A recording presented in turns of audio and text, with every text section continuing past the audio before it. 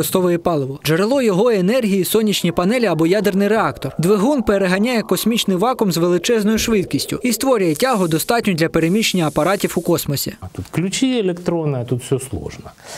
И вот эта колебательная система приходит с помощью внешнего источника электрической энергии в действие. Она деформирует в- вакуум и начинает ее ускорять. И, значит, в одно отверстие она, как говорится, втягивается, влетает, а из другого отверстия, тут сплошной канал, вылетает. Таким образом образуется струя реактивная, а устройство приобретает ускорение в другую сторону.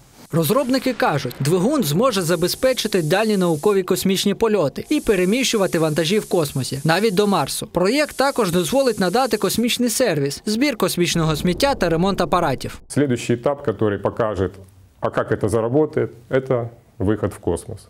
Да, это еще ближайший космос, да, это в пределах эм, орбиты Земли, где уже вакуум, он уже натуральный вакуум, вот, э, уже не тот, который мы создаем э, в лабораторных условиях э, на Земле. За словами розробників, перевага проєкту мінімізація запасів палива для дальніх польотів і більш комфортні експедиції для освоєння космосу. Очень нестандартный проект. Э, над- Изначально мы его вообще не хотели рассматривать и- и как-то с ним работать, но через время, осознав его ценность, э, сформировали достаточно профессиональную команду и начали развивать.